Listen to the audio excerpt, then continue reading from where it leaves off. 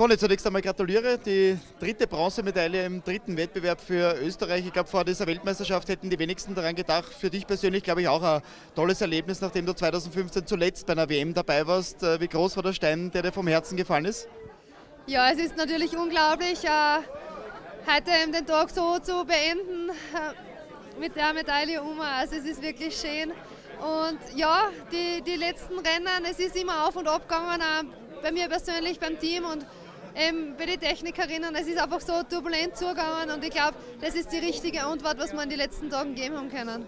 Wenn man mit der Startnummer 6 ins Ziel kommt, muss man wahrscheinlich noch sehr lange warten und zittern. Dann bist du ex equo mit einer Norwegerin auch noch auf diesem Platz. Wie ist es dir emotional ergangen?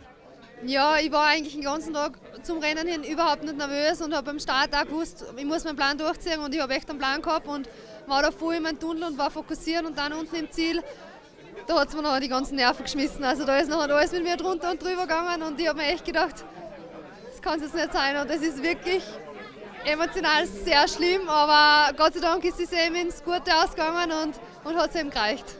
Speziell bei der Alice Robinson hätte noch vieles schief gehen können. Wie waren die letzten Fahrsekunden von ihr? Ja, sie hat eben die Nummer 30 gehabt und bei Nummer 30 hat noch einen Leader-Shot. Und dann habe ich gesagt, okay, stopp, aus, wir schauen jetzt alle auf. Und weil der ist richtig schnell und sie war bis zum, schnell, bis zum Schluss eben voll schnell und hat ähm, ja, beim drittverletzten Tag noch ein bisschen einen Fehler gemacht. Und ja, das Kick war halt sicher auf meiner Seite. Aber es hat auch extrem viele Rennen gegeben, die was nicht auf meiner Seite sind. Also ich, das ist einfach im Rennsport so und der schreibt einfach der Sport die Geschichten. Und ich glaube, das macht es auch richtig cool, dass man da bis zum Schluss eben so ein spannendes Rennen gesehen haben.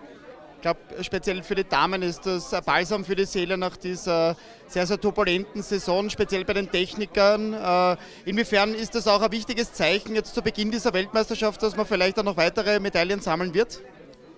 Ja, das ist die beste Antwort. Natürlich, ähm, man kann immer viel um und um reden und jeder fragt und man kann es auch schön reden, aber wir haben gewusst, ähm, wenn es nicht so läuft oder die letzten Rennen, wo es auch nicht so gegangen ist, jeder, das muss man individuell betrachten. Man kann nicht die ganze Mannschaft jetzt da in ein schwarzes Loch schmeißen und sagen, alles ist in der Krise. Also das, das haben wir nicht götten lassen und das haben wir auch gewusst, dass wir in gewisse Passagen eben schnell sind, aber wir haben es einfach noch überbringen müssen. Und ja, heute habe ich es Gott sei Dank übergebracht und es ist nicht selbstverständlich und es muss passen, aber ich glaube, wie, wie ich schon gesagt habe, das ist die perfekte Antwort. Abschließend vielleicht noch auf deinen Social Media Kanal zu sprechen zu kommen, da hat man gesehen, du mit deiner norwegischen Kollegin, ihr habt sich diesen dritten Platz sehr gerne geteilt. Am Ende wärst du wahrscheinlich wurscht gewesen, wer neben dir steht, aber habt ihr eine spezielle Beziehung zueinander? Mir hat es halt voll taugt für die Kaiser. Sie hat die letzten zwei Jahre auch richtig hart gekämpft, dass sie wieder zurückgekommen ist und war vor der, vor der Verletzung wirklich an der Weltspitze. Und es war nicht einfach und ich weiß, was sie durchgemacht hat und es ist keine schöne Zeit. Und sie hat zu mir gesagt, hey, we are living our dream. Und da habe ich gesagt, ja, und wir haben Spaß und es taugt uns. Und ich glaube, wenn du durch solche Zeiten gehst, dann kannst du den Moment natürlich umso mehr genießen, es nicht selbstverständlich ist.